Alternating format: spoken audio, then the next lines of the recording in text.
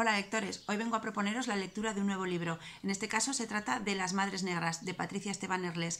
Se trata de una novela gótica y como muchas de las novelas góticas mantiene una estructura de cuento clásico, eh, con giros caprichosos en la trama, cambios repentinos en la historia, magia, magia, misterio y unos finales totalmente inesperados.